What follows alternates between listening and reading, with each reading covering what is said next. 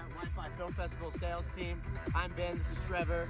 We get big money and we don't take big losses, only big wins.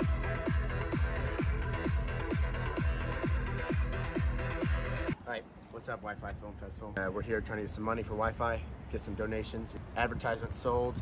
We're here to get big money and we're not here to lose. And So- as you can see, we dressed the part here for WIFI Film Festival.